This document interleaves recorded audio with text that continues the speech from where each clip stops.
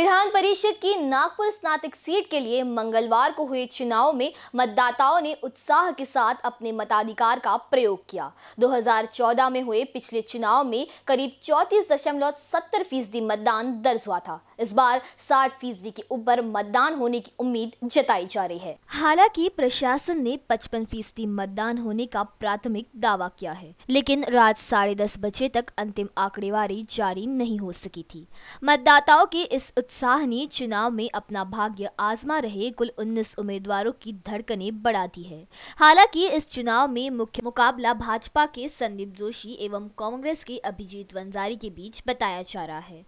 दोनों ही दल मतदान का प्रतिशत बढ़ाने की अपने पक्ष में बता रहे हैं। लेकिन दबी ज़ुबान में वे इस बात को स्वीकार कर रहे हैं कि बढ़े हुए मतदान ने सारे समीकरणों को ध्वस्त कर दिया है। उधर राजनीतिक हलकों में अलग अलग दावे किए जा रहे हैं। कोई दावा कर रहा है कि महाविकास अघाड़ी में शामिल तीनों दलों के उम्मीदवार वंजारी को इससे लाभ मिलेगा। उधर भाजपा के नेता कह रहे हैं कि उनकी पार्टी पर मतदान प्रतिशत बढ़ने से कोई असर नहीं होगा।